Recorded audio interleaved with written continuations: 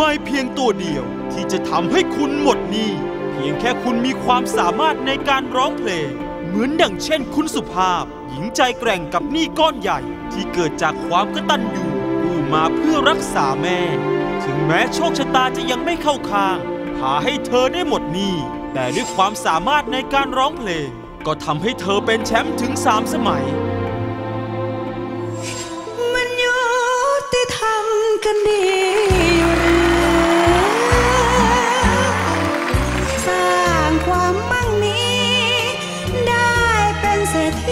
น้อยใหญ่ หลังบ้านฉันมีที่ดินอยู่บ้างห้าตารางวาจากหนี้180,000 บาท ตอนนี้เหลืออยู่เพียง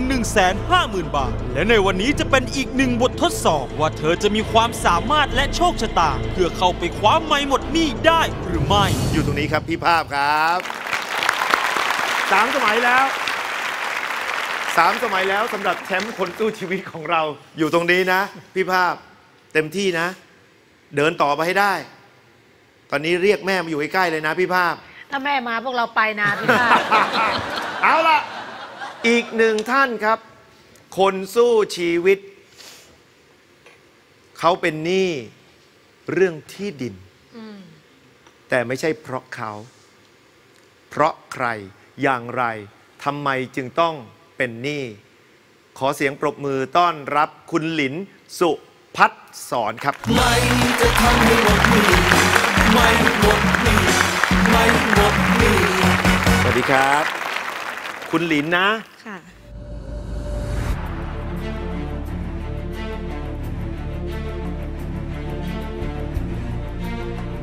สวัสดีค่ะ ชื่อนางสาวสุภัสสรช่างศรีชื่อเล่นชื่อหลินอายุ 24 ปีค่ะ ตอนนี้อาศัยอยู่กับแม่อยู่ที่จังหวัดปราจีนบุรีค่ะ ปัจจุบันก็ทำงานช่วยแม่ยังไม่ได้เรียนต่อ คือเรียนจบชั้นม .3 แล้วก็คือแบบช่วงนั้นแม่เป็นหนี้เยอะ ก็เลยหยุดก่อนมาช่วยแม่ทำงานก่อน เพราะว่าพี่ๆเขาก็มีครอบครัวมีภาระกันหมดทำทุกอย่างอะค่ะ งานทำนานี่ก็ต้องไปทำเองไปดำนาเอง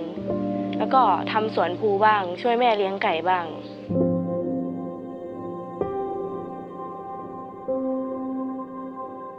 าว่าหนูทำหนูก็ทำแบบไม่เท่าที่แม่ทำหนูก็ทำตามความสามารถของหนูอะค่ะ หนูช่วยเท่าที่หนูช่วยได้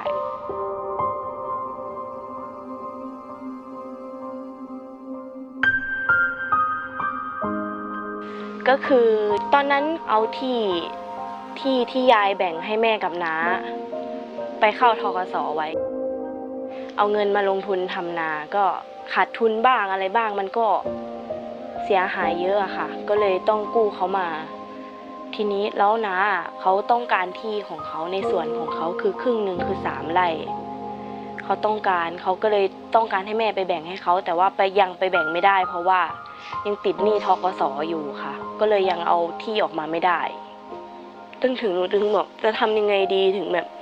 จะหาเงินก้อนนี้มาไถ่ที่ออกมาให้เขาคืนเขาเงี้ยค่ะ เพราะว่า เราก็มีส่วนผิดด้วยคือ ที่ก็เป็นที่ของเขาด้วย เราก็พูดเยอะไม่ได้ค่ะ หนูไม่อยากให้แม่หนู ทะเลาะกับน้าเรื่องที่ดินนะคะ ก็เลยแบบอยากหาเงินไถ่ที่นี้ออกมาที่ผืนนี้อะค่ะ ไม่อยากให้เขามีปัญหากัน ก็กะว่าจะเลี้ยงไก่แล้วก็ทยอยเก็บ เก็บภูด้วย เงินไก่แม่ด้วย ช่วยกันแบบรวมรวบรวมไปแล้วก็ไปใช้หนี้อย่างเงี้ยค่ะ จะเหลือเก็บบ้าง พอได้ใช้หนี้เขาอะค่ะ จะว่าเหลือก็ไม่เหลือ เพราะว่ามันมีหนี้นอกระบบด้วย ช่วงนั้นแม่ไปผ่าตัด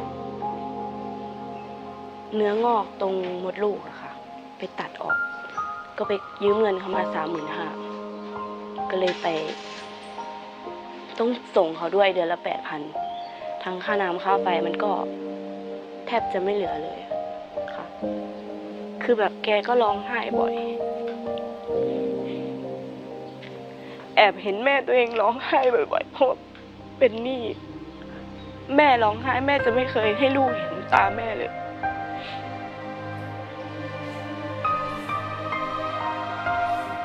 หนูอาจจะทำแบบทำไม่เต็มที่ของหนูแบบ อาจจะช่วยแม่ได้ไม่เยอะ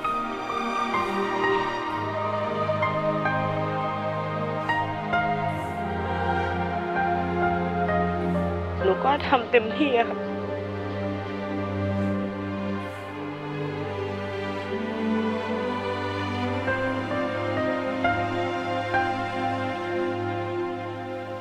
แม่นะ เวลามีความทุกข์นะ ประเสริฐที่สุดนะ คนเป็นแม่เนี่ย จะแอบไปร้องไห้ จะไม่พยายามเลย ที่จะมาร้องไห้ให้ลูกเห็น แม่ผมก็เป็นนะเวลามีเรื่องเศร้าเราไม่เคยเห็นเลย ต้องคนอื่นมาบอก คุณแม่สวัสดีครับ คุณแม่เวลาเวลาเศร้าเวลามีเรื่องทุกข์เรื่องอะไรเนี่ย คุณแม่ คุณแม่จะไม่ให้ลูกเห็นเลยใช่ไหมไปแอบร้องไห้เหรอ ก็บ้านก็หลังเล็ก ๆ อย่างนั้นแล้วแม่แอบไปร้องตรงไหน ก็ร้องอยู่นั่นแหละร้องอยู่บ้านร้องอยู่ใต้ถุนบางร้องอยู่ในสวนอย่างเงี้ยเหรอเป็นที่ดินแปลงรวมนี่แหละ แล้วก็กะว่าถ้าที่ดินมันไม่ได้มีอะไรก็คือแบ่งกันครับครับ แต่วันหนึ่งที่ดินแปลงเนี้ย เอาไปจำนองเอาไปจำนอง เพื่อจะเอาเงินมาทำกินนั่นแหละ ก็ทำนาทำอะไรแต่มันไม่ประสบความสำเร็จนะเนาะแม่ ก็ครับมีปัญหา ทีนี้มีปัญหาก็เกิดขึ้นว่าพี่น้องก็ทะเลาะกัน หนี้เนี่ยสองแสนใช่ค่ะตอนนี้เราเหลือหนี้อยู่เท่าไหร่ห้าหมื่นสามพันแปดร้อยสามสิบห้าบาทค่ะ53,835บาท ทีนี้หนูก็ไปประกวดร้องเพลงบ้างอะไรบ้างก็ผ่อนเขาทยอยใช้มา จนตอนนี้เหลือห้าหมื่นบาทห้าหมื่นสามพันเก่งเนาะเพราะเด็กคนนี้ครับอืมคือทำทุกอย่างด้วย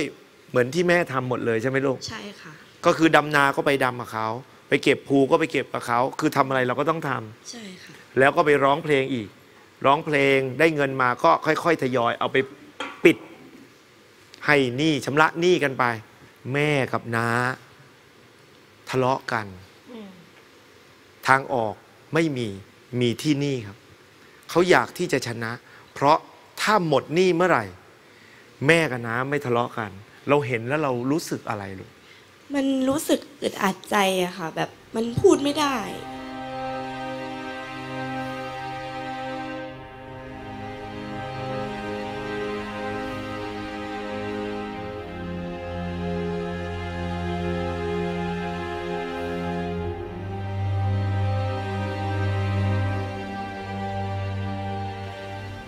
นั่นก็แม่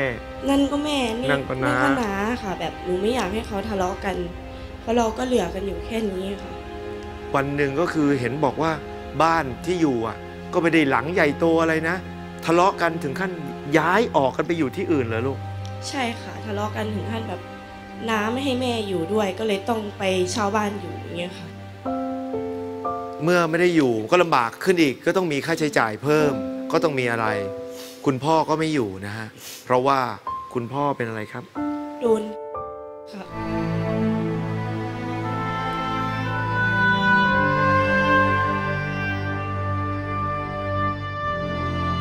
ชีวิตเนี่ยทำไมมันต้องโดนแล้วโดนอีก คุณพ่อก็คือโดนฆาตกรรม นานยังลูกสิบปีนี้ค่ะ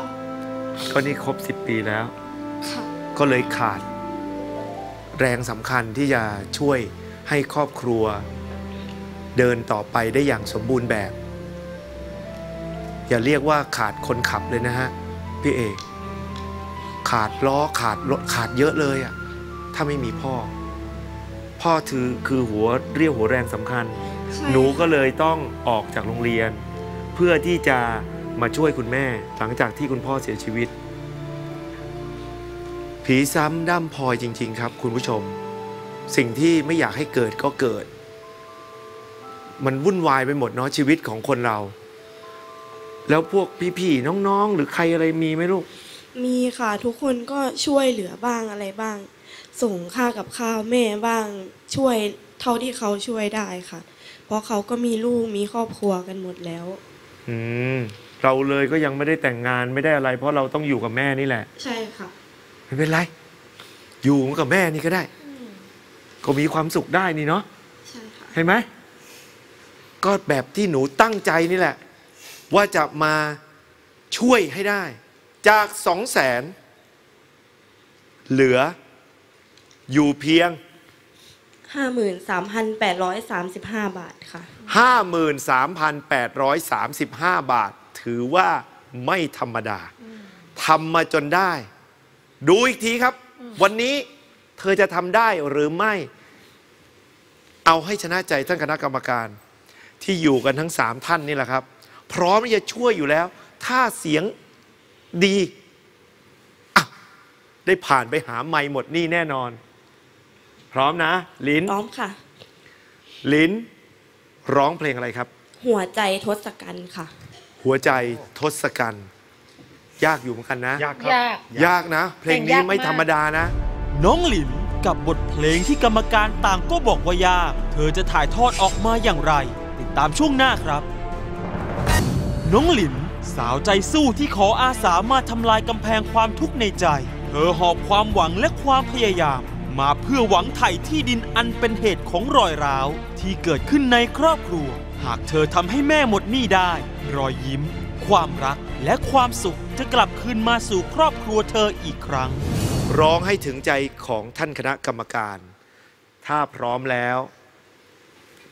เชิญครับ เ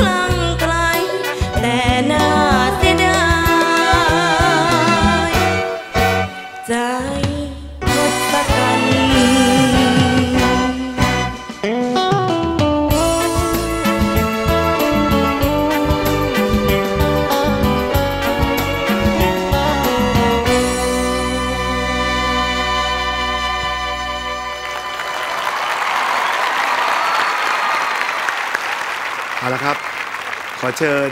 พี่เอกครับ เชิญครับ คือผมว่านี่ผมมานั่งวันที่สองในการที่มาฟังเรื่องราวทำให้มีความรู้สึกว่าต้องทานยาแก้ปวดอะมันจริง ๆ แล้วลิงมันเป็นมันเป็นความยากจนที่ร้อยเรือร้อยเนื้อทำนองเดียว แต่สิ่งที่เราได้รับรู้มาเนี่ยหลินเป็นคนน่ารักมาก ตรงที่เรื่องราวทั้งหมดหนูไม่ได้เป็นคนก่อ หนูไม่ได้เป็นคนสร้าง แต่เรื่องราวทั้งหมดถึงไม่ได้สร้างไม่ได้ก่อ แต่มันอยู่บนหลังคาบ้านเดียวกัน เป็นเป็นสิ่งที่แม่ทำมา เป็นสิ่งที่คนในครอบครัวทำมา และก็เป็นเรื่องราวของคนในครอบครัว อายุขนาดหนู แล้วร้องเพลงไปประกวดตรงโน้นตรงนี้ตรงนั้นมา แล้วเอามาผ่อนจากสองแสนกว่า เหลือห้าหมื่นบาทเนี่ยลินเอ้ย สุดยอดแล้วล่ะลูก ลินเก่งมาก ลินเป็นผู้หญิงที่เก่งมากลูกบอกได้ยังไงขอชมว่าเก่งมาก ก็ถ้าจะได้จะชนะจากเจอไม่หมดหนี้หรือเราต้องกลับบ้านไปก่อน แต่อย่างน้อยที่สุดลินก็มาทำหน้าที่ลูกที่ดี มาทำในสิ่งที่ดีให้กับพ่อกับแม่ ซึ่งเราต้องขอชื่นชม ส่วนในการร้องเพลงวันนี้พี่เอกมองว่าอ่าผ้าขาวของหลินน่ะมันมีเปื้อนบ้าง แต่ว่า โดยรวมแล้วไม่รู้สิชื่นชมในความสามารถ และก็ความแข็งแกร่งของหลินครับ ขอบคุณครับ หัวใจต้องแข็งแกร่งต่อไปนะครับผม เอาละพี่ไฮายครับ เชิญครับ อ่าอย่างที่พี่เอกบอกนะคะ หนูเป็นคนที่แข็งแกร่ง เป็นเด็กที่แข็งแกร่งมากเลยลูกเอ่อพี่ไฮว่าหนูมาถูกทางแล้วล่ะลูกลินขาจริง ๆ หนูเป็นคนเสียงดีมากนะลูก เป็นคนเสียงดี แต่วิธีการร้องอะเพลงนี้มันเป็นเพลงยาก ถ้าหนูได้ศึกษามันได้เรียนรู้มันเนี่ยก็สบายเลย เพราะหนูมีต้นทุนเสียงที่ดีอยู่แล้วนะลูกนะ และสิ่งที่หนูทำทุกวันเนี้ยค่ะทำเพื่อแม่เนี่ยมันเป็นอะไรที่วิเศษสุดแล้วล่ะลูกเอ้ยเด็กหลาย ๆ คน ถ้าได้ดูเทปนี้เนี่ย มันเป็นอะไรที่น่าเอาเยี่ยงอย่างเหลือเกินพี่ไอดีใจนะคะ ที่พี่ไอได้มีโอกาสได้มานั่งตรงนี้ แล้วก็ได้เห็นหลาย ๆ ชีวิตที่ มาสู้กันด้วยเสียงร้อง มาสู้กันประลองกันแบบเนี้ยเพื่อเอาชัยชนะ ฉันอยากหมดหนี้ฉันอยากหมดหนี้แต่ก็เหนื่อย แต่คนเรามันเลือกเกิดไม่ได้ มันเป็นวิบากของใครของมันนะลูกนะ แต่หนูทำมาได้ถึงขนาดนี้เหลืออยู่ห้าหมื่นสามพันมันเหลืออีกนิดเดียวนะลูกนะ ขอให้หนูไปถึงในจุดนั้น และให้หนูล้างหนี้ให้หมด ภายในเร็วๆนี้ค่ะ พี่ไฮเป็นกำลังใจให้ค่ะ คุณครับน้องหลินครับ จริง ๆ แล้วเนี่ยถ้าเกิดว่าทุกเนี่ยมันไม่ได้ตกอยู่กับตัวใคร เขาก็ไม่รู้หรอกนะ แต่เพอเอิญมันมาตกอยู่กับครอบครัวของหลิน หันไปทางนู้นครอบครัวพี่ภาพก็ทุกข์หลายๆคนหลายๆเทปที่ผ่านมาทุกคนก็มีทุกข์หมดเลย เราก็ต้องยืนอยู่กับความทุกข์นี้ให้ได้ ล้มไม่ได้ เพราะว่าแม่ก็อายุมากแล้ว ที่หลินหลินทำมาทำถูกแล้วครับ เพราะว่าจริง ๆอะเราเป็นลูก แล้วก็คิดเลยนะครับว่าสิ่งที่ทำอะ สักวันหนึ่งผลผลมันผลของกรรมดีต้องตามถึงเรานะฮะก็ขอให้ให้มีแรงใจแล้วก็กำลังที่จะต่อสู้ต่อไปนะ ห้ามท้อเพราะว่าอะไรรู้ไหมหันมามองแม่เราสิ้นพ่อแล้วไม่เป็นไร ก็นี่ก็เป็นทั้งพ่อทั้งแม่อยู่กับเราในเวลาเดียวกัน ก็เป็นกำลังใจให้สำหรับเรื่องเพลงในเรื่องของเสียงสูง วันนี้มีปัญหาหมดเลยในเรื่องของ เมื่อรักกันก็ชื่น เมื่อรักคืนก็ช้ำแต่เหตุไฉนมันไม่แตะไม่แต่มันสะบัดมันสะบัดแล้วมันพาเสียงเราตุปัดตุเป๋ไป พี่ก็ต้องตัดสินไปตามเนื้อผ้านะค่ะแต่เป็นกำลังใจให้ครับ แล้วก็อย่าทุกข์อย่าท้อนะ เราต้องยืนให้ได้ห้ามล้ม เพราะว่ามีแม่มต้องคอยดูแล เจ็บไข้ได้ป่วยไม่ได้นะหลิน ดูแลร่างกายให้ดี เป็นกำลังใจให้ครับ ขอบคุณครับ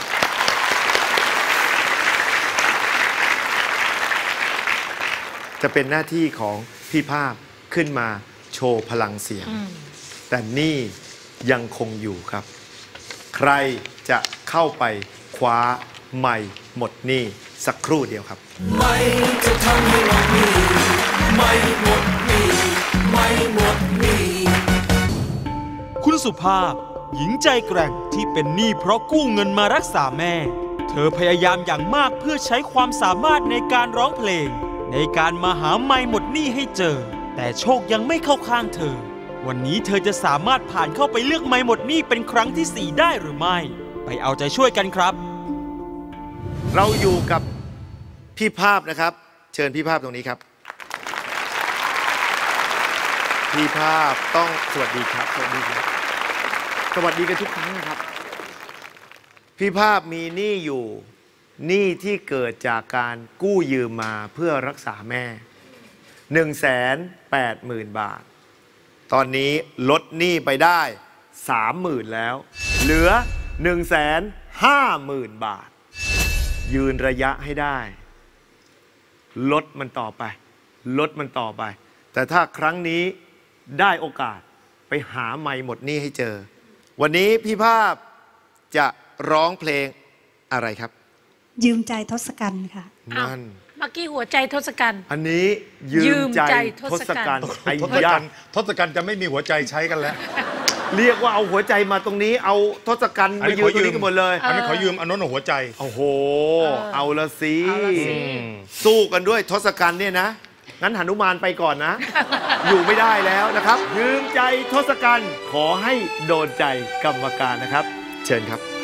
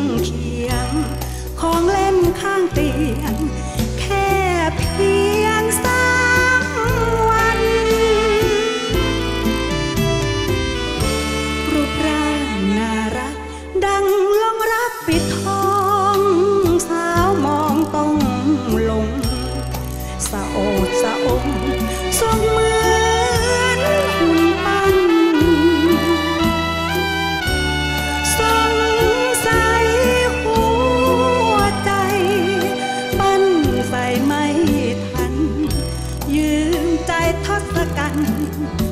มาใส่ให้เธอใช้แทน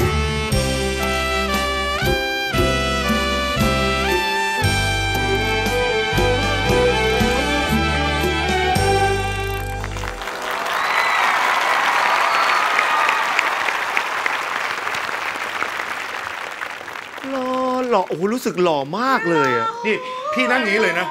พี่นั่งอย่างนี้เลยพอบอก แล้วอย่างนี้บอกไม่ใช่เขาชมพี่อ้าวเหรอเพิ่งเพิ่งลึกขึ้นหล่มาได้อหล่อมันล้อมันหล่อมากอะเห็นภาพ เห็นภาพเลยหล่อมากอะเชิญพี่เอกครับ คุณรู้ไหมว่าเวลาคุณร้องเพลง ณ ปัจจุบันนี้คุณร้องสดเนี่ย คุณร้องดีกว่านักร้องที่ดังอยู่บางคนอืมคือผมว่าณปัจจุบันเนี่ยนักร้องที่ที่ที่มีมีชื่อเสียงเนี่ยอือฮึมันมีหลายองค์ประกอบพี่หลิง แล้ววิธีการอัดเสียงณปัจจุบันนี้ มันช่วยเยอะเลย มันมีโปรแกรมที่มาช่วยอีดิทแต่ว่า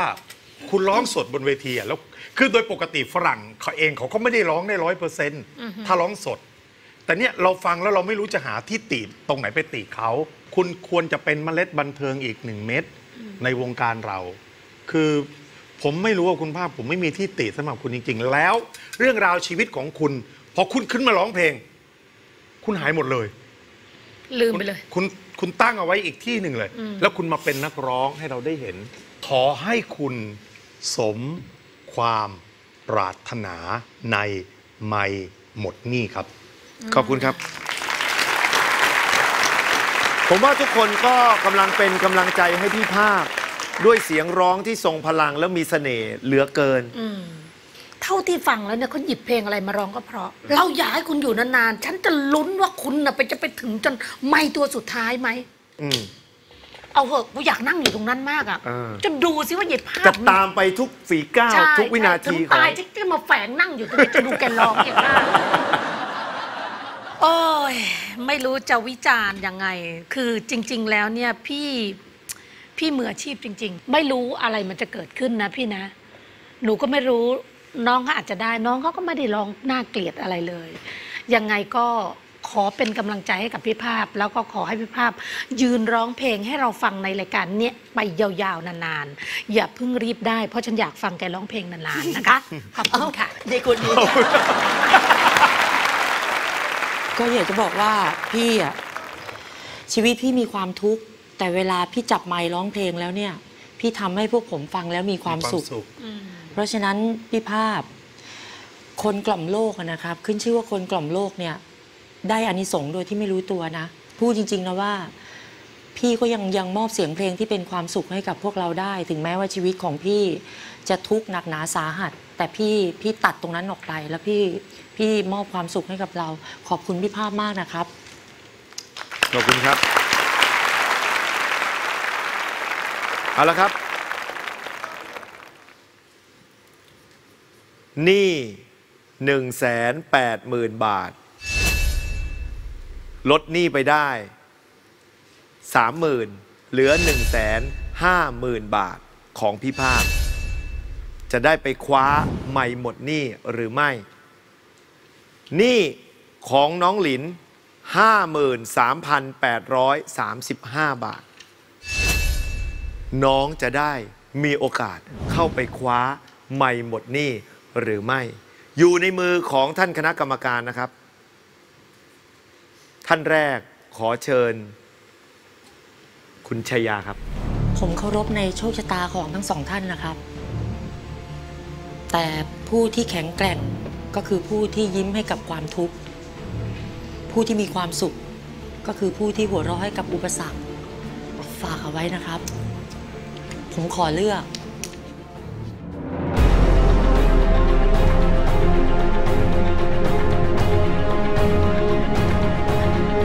สิ่งที่กำลังจะเกิดขึ้นนะครับหนึ่งคะแนนนี้จากคุณเอชัยยา จะเป็นต้นทุนที่สำคัญให้เขาก้าวเข้าไปสู่ การค้นหาไม่หมดหนี้ไม่ตัวเดียวในประเทศไทยหนึ่งคะแนนนี้สำคัญมากครับ ใครจะได้ไปหนี่ของการทำเพื่อแม่ คุณหลินหรือ คุณภาพ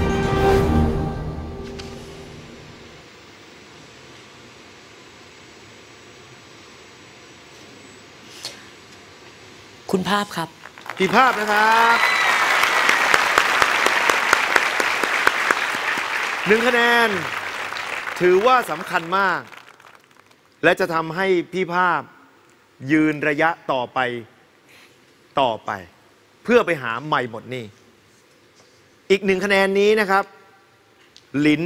จะต้องภาวนาว่าคณะกรรมการ ต้องให้หลิน พวกเราก็เป็นกำลังใจให้หลินเหมือนกันนะครับ แต่ไม่ได้ขึ้นอยู่กับกำลังใจของพวกเราเท่านั้น ขึ้นอยู่กับท่านคณะกรรมการด้วย ผมขอหนึ่งคะแนนนี้จากพี่เอกก็แล้วกันนะครับ เชิญครับเอ่อคนที่ ไม่ได้เข้าไป ก็อยากจะบอกว่าจริง ๆทุกอย่างบนโลกใบนี้เราซื้อไม่ได้ก็คือความดี หนีไม่ได้ก็คือความตาย และสิ่งที่ต้องชดใช้ก็คือกรรม ผมขอเลือกหนึ่งคะแนนนี้สำคัญต่อหลินเป็นอย่างมาก ถ้าเป็นของหลินเสมอหนึ่งต่อหนึ่งตัดสินด้วยคุณฮายอาภาพร แต่ถ้าพี่เอกให้พี่ภาคพี่ภาคเข้าไปหาไมค์บทนี่น้องหลินกลับบ้านนะครับ ใครกันแน่ แม่ก็ลุ้นนะ ขอให้ได้นะ คะแนนหนึ่งต้องมาก่อนนะ แต่ไม่รู้นะฮะ ต้องอยู่ที่พี่เอกนะครับ แฟนภาพลุ้น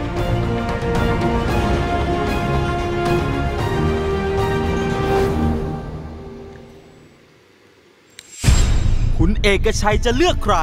สองคนสู้ชีวิตที่ยืนอยู่ จะมีเพียงหนึ่งเดียวเท่านั้น ที่ได้ผ่านเข้าไปเลือกไม่หมดนี้คุณสุภาพกับหนี้ก้อนใหญ่ ที่กู้มาเพื่อรักษาแม่จำนวน 180,000 บาท น้องหลินกับความหวังเพื่อไถ่ที่ดินครอบครัว ยอดหนี้ 53,835 บาท ขณะนี้คุณภาพนำอยู่หนึ่งคะแนน คุณเอกชัยจะเลือกใคร ให้ผ่านเข้าไปเลือกไม่หมดหนี้ ไปชมกันเลยครับ ผมขอเลือกหนึ่งคะแนนนี้สำคัญต่อหลินเป็นอย่างมาก ถ้าเป็นของหลิน เสมอหนึ่งต่อหนึ่งตัดสินด้วยคุณฮายอาภาพร แต่ถ้าพี่เอกให้พี่ภาคพี่ภาคเข้าไปหาไมค์บทนี่น้องลินกลับบ้านนะครับ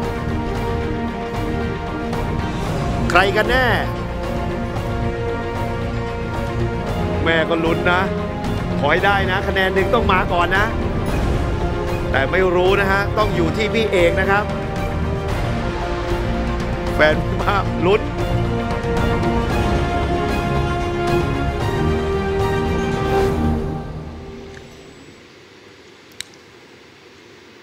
ขอโทษน้องลินนะ พี่ภาพครับ พี่ภาพนะครับ ไม่เป็นไร แต่ต้องถามก่อน พี่ฮาย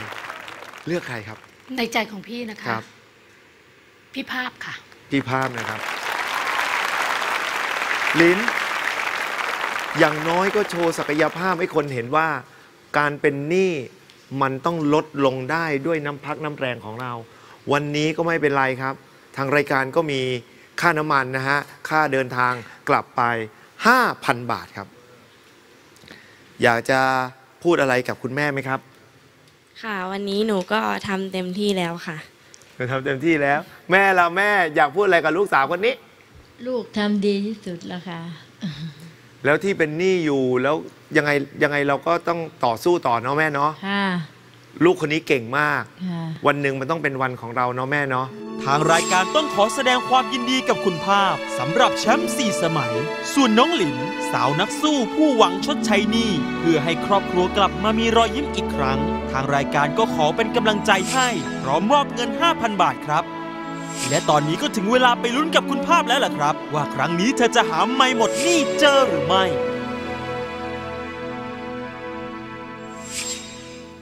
ต้องหาไม้ที่มีตัวเดียวในประเทศไทย ไม่รู้ว่าเขาจะหาเจอหรือไม่ ไม้ที่จะทำให้หมดหนี้พี่ภาพนะครับ มีหนี้อยู่ 180,000 บาท ลดไปได้ 30,000 ตอนนี้เหลือ 150,000 บาท จะมีไม้ที่อยู่ข้างหน้า 15 ตัวหนึ่งในนี้นะครับมีตัวเดียวที่ร้องแล้วจะมีเสียงดัง ถ้าหาเจอหมดนี่ครับ แต่ถ้าไม่เจอลดไปหนึ่งหมื่นหาให้เจอครับพี่ภาพ นี่เราทำมา พื่อรักษาแม่ ความกตัญญูที่มีต่อแม่ คิดให้เยอะครับ ไม้ตัวไหนก็ไม่รู้ ถ้าพร้อมแล้ว เลือกครับ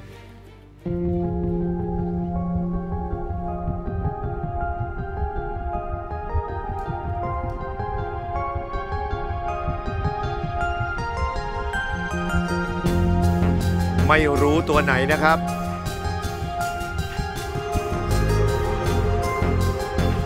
ไม่ตัวเดียวเท่านั้น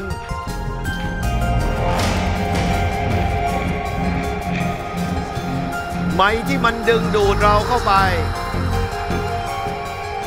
มันบอกว่ามาร้องกับฉันสิ ร้องที่ฉันเนี่ย จะมีเสียงดังแน่ ๆ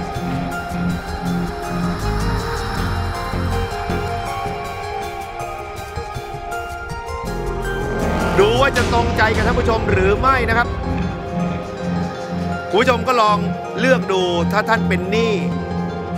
แล้วท่านต้องเลือกไม่ ท่านจะเลือกตัวไหนครับ เลือกได้แล้วนะครับ เชิญประจำที่ครับ ไม่ตัวเดียว ไม่หมายเลขอะไรครับ ที่พี่ภาพเลือก ครั้งที่ 4 กับการเลือกไม่หมดหนี่ตัดสินใจให้ดีๆนะครับ หมายเลขสี่อะหมายเลขสี่เพราะอะไรมันมันติดใจอยู่เหรอก็เกิดวันที่สี่ค่ะ เกิดวันที่สี่เดือนอะไร เดือนกุมภาพันธ์ค่ะเดือนแห่งความรัก เอาละสามี สามีก็ลุ้นสามีก็ลุ้น สามีก็ลุ้นตลอด ไม่รู้ตรงใจกรรมการหรือเปล่าพอเขาเลือกสี่คุณฮุบอะ คุณเอ ยังไงไม่รู้นะฮะไม้หมายเลขสี่จะเป็นไม้หมดหนี้ไม้ที่มีตัวเดียวในประเทศไทยนั้นหรือไม่ ขอให้โชคดี ขอให้ไม้ตัวนี้เป็นของคุณ ไม้หมดหนี้เชิญครับ ขอให้เจอมัน ขอให้โชคดี ขอให้หมดหนี้ชีวิตนี้ชีวิตเดียว ได้มีโอกาสมาหาไม่หมดหนี้คนอื่นนะครับไม่มีโอกาส เรามีโอกาสแล้วขอให้โชคเป็นของคุณขอให้โชคดี ถ้าผมบอกให้ร้องถึงร้องนะครับไม่ตัวเดียวเท่านั้นที่ร้องแล้วเสียงดัง ขอให้โชคดี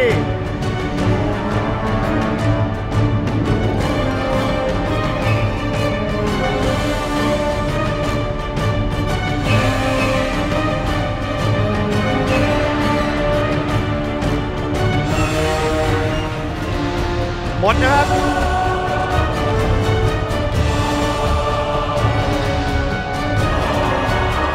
ร้องครับ ตอนนี้เป็นหนี้ธนาคารกู้มาเพื่อไปรักษาแม่ ซึ่งเป็นมะเร็งด้วยเป็นไตด้วยต้องเจาะหลัง เจาะเอ่อท่อปัสสาวะเพราะนั่งรถโดยสารเนี่ย บางคนเขาจะรังเกียจแกทันได้รักษาไหม ฮะท่านค่ะ ตอนนี้คุณแม่ดีขึ้นหรืออะไร เสียแล้วเสียแล้วค่ะ ให้แม่เป็นกำลังใจให้อย่างเวลาไปถึงที่ไหนที่ไหนก็ คิดถึงแม่และอยากให้แม่ยังอยู่ดูแลอยู่ ถึงเวลาที่โชคชะตา จะพาให้เธอได้เจอกับไม่หมดหนี้แล้วหรือยัง ร้องครับ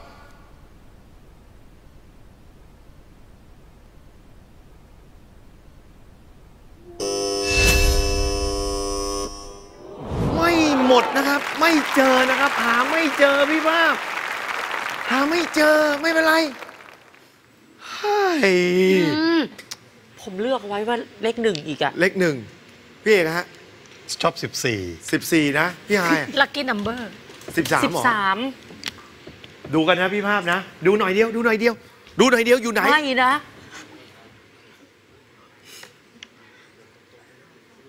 ไม่ดูดีกว่า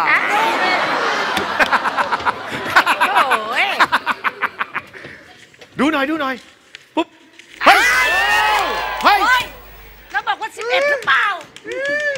สิบเอ็ดที่เราเลือกตอนแรก ใช่ คุยกันเลยจริงๆอะก่อนที่จะเขียนไง บอกว่า 11 แน่ๆ เราพูดกัน 3 คนพร้อมกันเลยว่า11 แน่ๆ เฮ้ย เอาเอางี้อีกครั้งเดียวนะ ผมว่าได้เออ อะนางเฉียดมาหอีกลายครรั้องบเดียวแล้วผมว่า ไม่ในครั้งเดียวถ้า เจอเขี้ยวมาล่ะ ก็ไม่ได้นะเอเอออก็ไม่ได้มาตรงนี้ถ้านะเกิดเจอคนสู้ชีวิตคนอื่นที่เสียงดีขึ้นมาอ้าวจะไปรู้เลยยายภาพยืนนานแล้วแล้วเสียงลมเริ่มมาแต่ลมนี่บอกตรงนะลุ้นจนเหนียวเลยนะจะไปอยากไปห้องน้ำมากเลยอะ ปวดห้องน้ำเลย เออ เป็นไงบ้างไม่ได้อีกแล้ว ไม่เป็นไรเนาะไม่เป็นไรค่ะออไม่เป็นไรเนาะยืนอีกยืนอีกยืนอีกยืนอีกร้องให้เราฟังอีก เออ เราชอบ ฟังแล้วเพลิน เออ ใช่ อะไรที่ได้มาง่ายเกินไป มันไม่มีคุณค่า ถูกต้อง มันต้องต่อสู้แลกกันมาหน่อย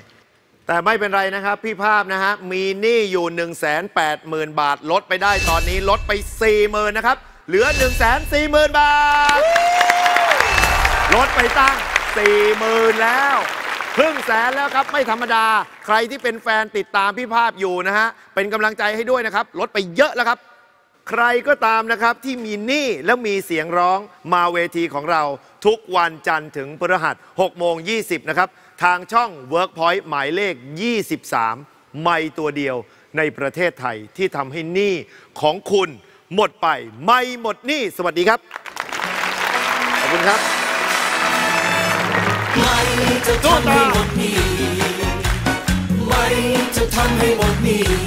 ไม่หมดหนี้ ไม่หมดนี้สวัสดีครับ แฟน ๆ ชาว Workpoint ทุกคนครับ ตอนนี้ Workpoint ของเรามีรายการย้อนหลังใน YouTube แล้วนะครับ อยากให้ทุกคนเข้าไปกดติดตามที่ปุ่มนี้เลยนะครับ จะได้ไม่พลาดรายการดีของเรานะครับ อ้าว แล้วเจอกันครับ